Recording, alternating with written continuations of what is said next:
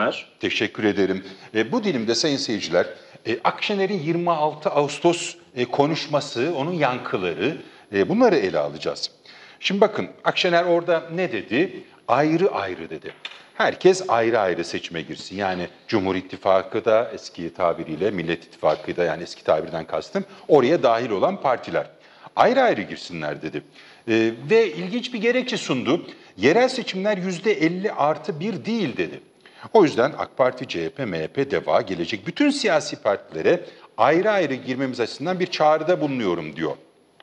Şimdi Bahçeli yanıtı verdi. Bizim nazarımızda ciddi alınacak bir tarafı yoktur dedi. Cumhur İttifakı'nın tüm bileşenleri 31 Mart 2024 seçimlerine heves ve heyecan içinde hazırlanacak, ortak akıl ve anlayış içinde işbirliğini sürdürecektir.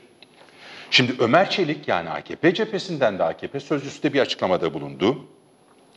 Ee, dedi ki hayır dedi Cumhur İttifakı ve birlik içinde dirayetle e, yoluna devam etmekte. Şimdi e, hal böyleyken e, Akşener bir neden e, bu kadar siyasi içerikli bir konuşmayı ve hatta Kılıçdaroğlu'nun sadece Kılıçdaroğlu değil İmamoğlu ve Yavaş'ı çok sert sözlerle eleştirdiği bir konuşmayı neden 26 Ağustos'ta öyle bir e, mekanda yaptı? Bu da kolay anlaşılabilmiş değil. Çünkü 26 Ağustos'un hani e, şeyiyle, mana ve ehemmiyetiyle bütün bu detaylar nasıl örtüşebilir? Bu işin bir yanı ve tabii ki diğer boyutları. Şimdi e, bu dilime e, Salim Şen'le başlayayım. Salim Bey, e, bakın Kılıçdaroğlu'na adeta önce ben eleştirisi, yani hep kendisini düşünenler, o sözler sonuçta nereye gidiyor? E, Kılıçdaroğlu'na gidiyor. İmamoğlu ve Yavaş'a e, adeta işte cesur davranmadılar, o ateşten gömleği giyemediler şeklinde çok sert e, sözler e, var. Nasıl buldunuz konuşmayı ve 26 Ağustos'ta e, böyle bir tarihi günde bu konuşmayı nereye oturttunuz? Ee, yani açıkçası biraz belki sert olacak sözlerim ama yani ben e, düşündüklerimi bu konuda hakikaten hissettiklerimi de söylemek zorundayım. Bir önceki bölümde bir Türkiye tablosu çizildi. Ya çizilmesine gerek yok zaten yaşıyoruz. Yani hani çizerek bir farkındalığı ortaya koymuş değiliz. Ya insanlar biliyorlar nasıl bir şu anda e, geçim sıkıntısı içinde olduklarını, yarınlarına nasıl umutsuz baktıklarını herkes her gün yaşayarak görüyor. Şimdi bunun bir tane yolu var. Yani dediğim çok basit. Biz bu cendereden nasıl çıkacağız dedim. Ya biz bundan ancak bunun farkında olup bu yönde çok akılcı, hakikaten e, başarıya odaklı, sonuç alıcı politikalar ve siyaset üreten bir muhalefetle çıkabiliriz. Topluma öncü olacak. İçinden şu anda geçtiğimiz 3 ay önceki hezimetin, bir seçim hezimetini, bu bir hezime evet kaybedildi. Çok net. Kaybetti. Hepiniz kaybettiniz. Hepsi kaybetti.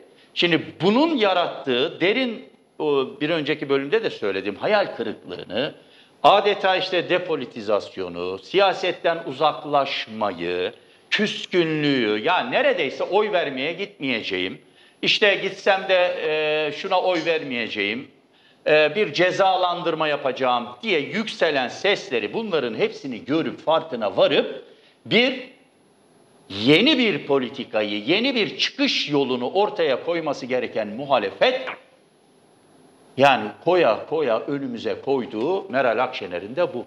Nedir? Bundan sonra biz bir ittifak yapmayacağız. Herkes kendi yoluna. Ben kendi adaylarımla çıkacağım. Zaten bu başarısızlığın sorumlusu da sebebi de ben değilim. Çünkü diyor ben biz, biz milletimizi ve memleketimizi düşündük diyor ama bunlar e, yeterince bu kadar evet. düşünmedi diyor. Bu mudur ya? Ya bu mudur yani?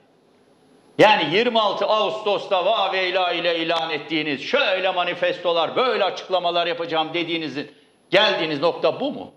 Yani muhalefeti iyice dağıtarak, var olan birlikteliği iyice gevşeterek, hatta bunu böyle yıkıcı bir dil ile, böyle itham eden, böyle suçlayan, adeta köprüleri atan bir dil ile yapmanız mı bundan sonraki politik çözümünüz? Ben bir şey söyleyeyim mi? Erdoğan isteseydi ancak bu kadarını yapabilirdi. Bakın bunlar varken Erdoğan'ın bir şey yapmasına gerek yok. Gerçekten yok. Hiçbir şey yapmasına gerek yok. Ya kar, karşınızda yüzde 50.1'i geçmiş, adeta kemik gibi duran bugün itibariyle bir Cumhur İttifakı var. Bütün bu yıkımına rağmen ve bunun karşısında, bunun karşısında ya sokağa bile çıkamayacak duruma getirilmesi lazım bu iktidarın. Bu gelinen yıkım sebebiyle bu iktidarın bırakın bir şeyler söylemeyi halkın içine çıkıp ya gününü böyle gün etmeniz lazım, dar etmeniz ortalığı lazımken siz bütün hedefinizi, bütün cephenizi birbirinize yöneltip efendim işte e, Cumhuriyet Halk Partisi'nin bu süreçteki aymazlığından, kişisel hırslarının aşılamadığından vesaireden bahsederek yeni bir kendinize yol çizmeye ve bunu da bize adeta bir çözümmüş gibi göstermeye çalışacaksınız öyle mi? Karnımız tok buna. Yok efendim iki tane belediye başkanına teklif etmişler de o belediye başkanları o cesareti gösterememiş. Ya söylediğiniz baştan sona siyasi bir ahlaksızlık. Bakın tekrar ediyorum. Yaptığınız baştan sona bir siyasi ahlaksızlık. İki tane belediye başkanı dediğiniz yüreksizlikle, cesaretsizlikle sizin dediğinizi yapmamakla suçladığınız kişiler bir başka partinin belediye başkanları.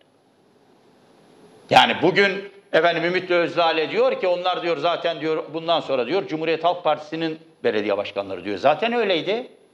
Zaten öyleydi. Siz o partinin genel başkanı Kemal Kılıçdaroğlu iki sene önce ya AKP sıralarına dönüp Türkiye Büyük Millet Meclisi'nde niçin adaylığını açıklamıyorsun, aday mısın, değil misin diye sorulduğunda nereden biliyorsunuz aday olmayacağımı diyerek ilk işareti, adaylık işaretini vermişti iki sene önce.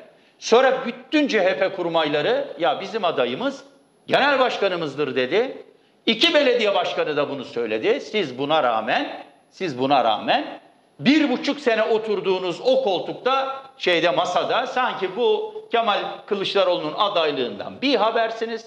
Bu hiç konuşulmamış, kamuya mal olmamış, hiç tartışılmamış gibi onun mahiyetinde o partinin içerisinde yer alan iki belediye başkanına kement atarak ve onları da cesaretsizlikle suçlayacaksınız. Peki tersi olsaydı ne yapardı ya Meral Hanım? Ne yapardı? Ben Meral Hanım'a buradan sesleniyorum. Meral Akşener 2018'de Cumhurbaşkanı adayıydı. Yanlış mı? Evet. Cumhurbaşkanı adaylığı sırasında benzer bir ittifak olduğunu düşünelim. O adaylığı sırasında Kemal Kılıçdaroğlu'nun efendim Meral Akşener'in değil de İyi Parti'den iki kişinin yardımcısının veya herhangi birisinin Cumhurbaşkanı adayı olması gerektiğini söyleyip Meral Kılıçdaroğlu hakkında da ya kazanacak aday değil, kazanamaz kardeşim şudur budur diye bir kampanya yürüttüğünü düşünelim. Ne yapardı Meral Hanım? Sessiz mi kalırdı? Bunu sineye mi çekerdi? Normal mi karşılardı? Bunu bir siyasi ahlaksızlık olarak görmez miydi? Etik mi bulurdu? Böyle saçma bir şey olabilir mi? Kendisinin iddiasına göre Salim Bey, açıkladıklarına göre bundan ta bir buçuk yıl önce mi ya da daha e, artık tam olarak ne kadar süre önce e, beş kişi İyi Parti kurmayı, beş kişi CHP kurmayı e, bir görüşme yaptıklarını ve daha orada yani taleplerini dile getirdikleri yani Kılıçdaroğlu ve şey özür dilerim Mansur Yavaş ve İmamoğlu'nun çok güçlü Erdoğan'ı yenebilecek figürler olarak dile getirdiklerini yani dolayısıyla buradan kendilerine bir meşru zemin yaratmaya çalışıyorlar. Şimdi bu bir meşru zemin yani biz değil. çok önceden konuşmuştuk demeye çalışıyorlar. O zaman bakın 2 ve 6 Mart, 3 Mart, 3 ve 6 Mart yıkımını, yıkımını bu ülkeye, bu seçmene, bu muhalif cepheye yaşatmamaları lazım. Madem bunu çok önceden biliyordunuz, bir buçuk sene oturduğunuz o masada bunu o zeminlerde tartışarak sonuçlandırsaydınız. Madem o masadan kalktınız, üç gün sonra dönüp Kemal Kılıçdaroğlu adayımızdır demeyecektiniz. Hiç oturmayacaktınız. İlkeli bir siyaset izleyecektiniz. Bugün diyor ki Meral Hanım, yüzde 60 oyla kazanacağız diyenlere sesleniyorum. Onlara karşı çıkıyorum. Onlardır bu işin sorumluları diyor. E ben çok net hatırlıyorum. Meral Hanım'ın 6 Mart'tan sonra televizyon programlarında yüzde 50.1 değil açık farkla kazanıyoruz. Kemal Bey açık farkla kazanacak dediğini e, benim kulaklarım duydu. Şimdi hiçbir şeyden ben mesul değilim ama ben buradan kendime sağlıklı bir çıkış adı yaratacağım. Bu seçimin kaybedilmesinin en büyük sorumlusudur Meral Akşener ve İyi Parti. Bu kadar net. %9.9'a düşen oylarının hesabını vermeli. 15'lerde 16'lardayız. Biz hatta 20'leri zorluyoruz diyen İyi Parti niçin 9.9'a düştüğünü o aradaki %5-6'nın alınan %48'e eklendiğinde %50'yi rahatça geçtiğinin ve Kemal Bey'in o pozisyonda kazanacağının, kazandığının ve kendisinin oylarının düşmesi sebebiyle bu sonucun oluştuğunun muhasebesini yapıp hesabını vermeli. Şimdi ikinci bir yıkım heyeti. Onu da altılı masada yer almaya bağlıyorlar. Kendi tezleri bu şekilde. Altılı masada yer almak bize oy kaybettirdi diyorlar. Onların tezleri. O zaman al- oturmayacaktı, Söyle. gelmeyecekti masaya. O zaman gelmeyecekti. Şimdi hem yanlışı yapacaksınız kendiniz açısından hem de yanlışın e, sorumluluğunu karşıya yükleyeceksiniz. Bakın şu anda yapılan ikinci bir yıkım faaliyet. Birincisini o 3 Mart'ta masadan kalkarak yaptılar. Şimdi muhalefet blokunu parçalayarak yapıyorlar. Bunu bir hemen özetleyip bırakayım. Niçin? Ya politik akıl, siyasi analiz ne derseniz deyin düz mantık. 50 artı 1 falan gerekmiyor falan laflarını bir tarafa bırakın. Bunların hiçbir karşılığı yok. Akıl ve mantık bir araya gelmeden bu yerel seçimlerde de o oyları sağlayamayacağınızı net bir şekilde gösteriyor. 2019 seçimleri böyle kazanıldı. Ekrem İmamoğlu, Mansur Yavaş, işte 11 büyükşehir belediyesi böyle kazanıldı. HDP'siyle, İyi Partisi'yle, efendim CHP'siyle, diğerleriyle adını sayamadığım bir sürü partilerin tabanlarının birleşimiyle yapıldı. Şimdi siz hem diyeceksiniz ki efendim bu iktidardan kurtulmalıyız. Bu kazançlarımızı elimizde tutup buna devam etmeliyiz. Sonra da diyeceksiniz ki şununla şununla şununla görüşülüyorsa ben yokum. Şu şununla birlikteyse ben yokum. O onunlaysa ben yokum. Bir izah edin nasıl olacak bu iş? Nasıl olacak? Nasıl kazanılacak bu seçim? Örneğin tekrar ediyorum HDP tabanının oy vermediği bir denklemde İbrahim Bey açıklar. Ya da eğer ben yanlışsam düzelsin çok da memnun olurum. İstanbul nasıl kazanılır? Hangi formülle kazanılır? İyi Parti olmazsa İstanbul kazanılamaz. HDP olmazsa İstanbul, Yeşil Sol yani kazanılamaz. Diğer partiler olmazsa İstanbul kazanılamaz.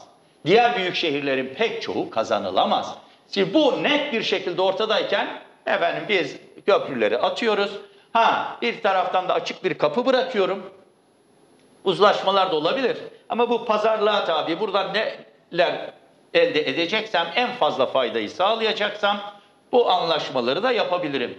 Gibi bir siyasi oportunizm artık ülkeye zarar veriyor. Bir Evet. tek şeyimiz var. Bir tek.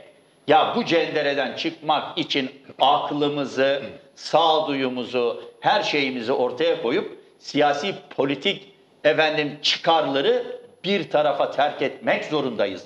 Bu seçimi hepiniz kaybettiniz. Kemal Kılıçdaroğlu da kaybetti, Meral Akşener de kaybetti, diğer altılı masanın tamamı kaybetti. Her biri, her biri öz eleştirisini yapıp buradan bir çıkış yolunu yeni bir denklem oluşturmak için ne yapılması gerektiğini, o hatalardan nasıl e, ders çıkarılarak onların düzeltilmesi ve yeni bir enerji, yeni bir sinerji, yeni bir politik oluşturulması gerektiği hususunda bir araya gelip kafa patlatmaları lazım.